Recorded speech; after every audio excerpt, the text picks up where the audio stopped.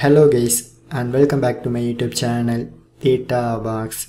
So today I get the following one error notification while I try to install the one application in my Windows 10 PC and it shows smart screen cannot be reached at the moment. Check your internet connection. Microsoft Defender smart screen is unreachable and cannot help you decide if this app is okay to run. So how to fix this issue? So my point of view, is this is not a error, which means that this is a type of warning message. So if you try to install any unwanted apps in your Windows 10 PC, this Microsoft Defender showing this kind of warning message.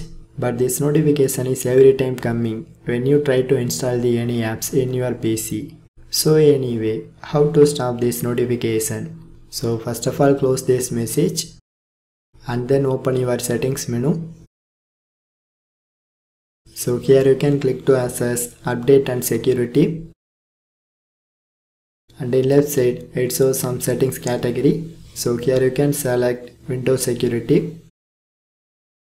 So once you select this category now it has lots of options. But you can click to access app and browser control.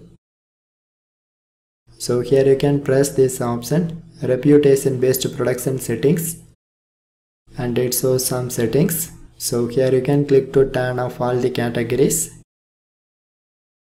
But friends remind one thing, if you turn off this option, maybe your PC will affected from the unwanted apps and this is for your own risk.